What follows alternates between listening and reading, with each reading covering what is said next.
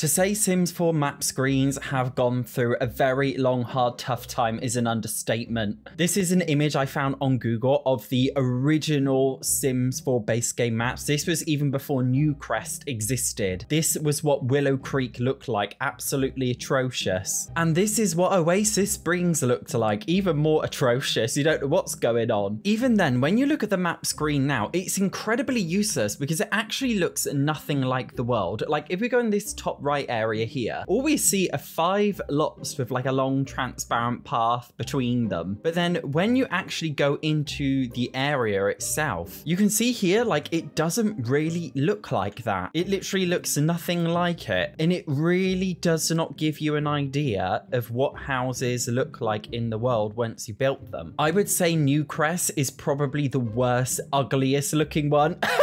like, what the hell is this? What the hell is this? I could have made this in Microsoft Paint in five minutes myself. I mean, if I click on this top area here that just looks like five square blobs, look at it in the actual game. These five blobs do not look like blobs anymore. It actually looks nice. But you wouldn't know this. You wouldn't know there was a nice little river here if you didn't actually click down and go into it. So now I present you with this. Absolutely stunning. This is an exact like to like replica of the actual world in the map screen. I mean, the best map screens are The Sims 2 and The Sims 3 because you can actually zoom in and interact with it and go around anywhere I digress. Taking a look at the original map screen, it shows literally nothing. Look at this little boat, all right, in the middle. Look at that little boat in the middle there. It seems to be like a strong bit of land that goes between it. But then this doesn't show that. This shows a little, I don't know, not an island, but a little bit here with no boats. And then when you actually click to go in, you'll see that exact area on the right over here. Yet in the original map screen, they make out it's not there. It is so frustrating when you're trying to build and you don't know where everything is because there is a lot and you do forget very often. But this is honestly incredible. And do you know what I really love, right? This is what I really love. Oasis Springs. I'm going to show you the original one. Do you know what I hate about this? The entire thing looks like a desert. So you think you're getting a desert wherever you live in the game. But this is what it actually looks like. Like there's grassy bits here and there's grassy bits here, but you wouldn't know that. This is what the map screen should have been. And you cannot tell me otherwise. You literally cannot tell me otherwise. Now you are going to cream yourself when you see Newcrest. Look how much better that is. Literally look at it. I'm being so aggressive. Look at it.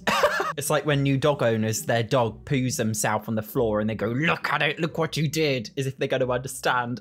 Doesn't this look so much better? And see, this honestly inspires me to do building in The Sims 4 again. Did you hear my knuckle click then? That was quite painful. It makes me want to build. It really does make me want to build because it looks more alive. And I feel like when I place builds down, it's like an achievement, like bloody hell, look at what I just did in this nice looking world. This is Magnolia Promenade. Again, just look at it. I'm not even going to say, I am to say it's something because I can't stop chatting shit, but just look at it. It is a true representation of the world itself. This is San Myshuno. This one is a little bit chaotic, I'll be brutally honest. I think San Myshuno was already quite chaotic, but still it does very much give you a better representation of what the map should actually look like. This is Forgotten Hollows, and again, it just looks a lot more high res and detailed, and it makes a lot more sense. This is what Tartosa looks like. It actually looks really nice in the sunset. Do you know what I mean? And it actually feels like the world that you see when you actually go in there. Copperdale as well has got a bit of an improvement. Again, this literally looks a lot more like Copperdale. Like if you just look at the original map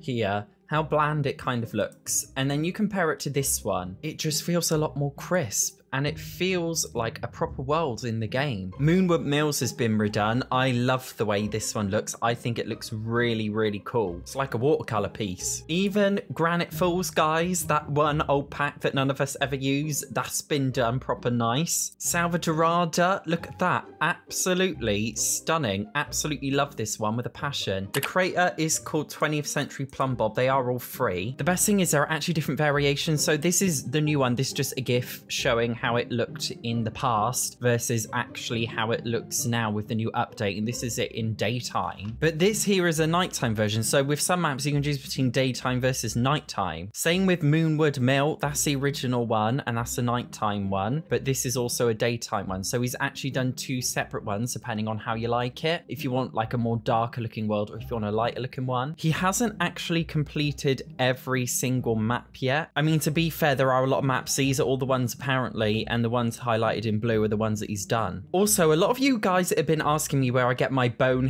uh, dancing loading screen mod from. Well, this is where I got it from, this creator who creates all the funny little loading screen mods. These days, I'm starting to get back into doing a few more mod reviews. Like I used to do them a lot, but then I stopped because I used to get a lot of angry comments. Console players can't get this. This is disrespectful. Rah, rah, rah.